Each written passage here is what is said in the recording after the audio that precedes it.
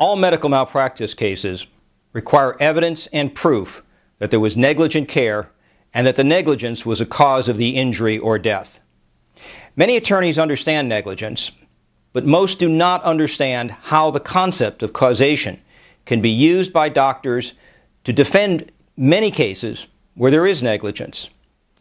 Most medical malpractice cases that are lost at trial occur because the plaintiff attorney does not understand how to prove causation to a jury.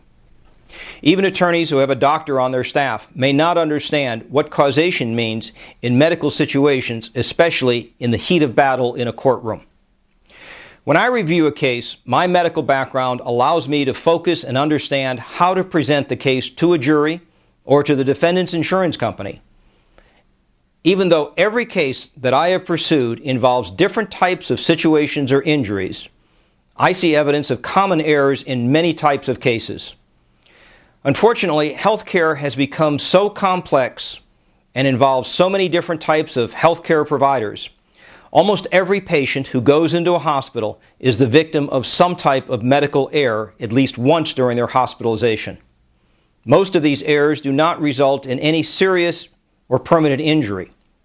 But when such a permanent or serious injury does occur, the victim needs an attorney who really understands the practice of medicine.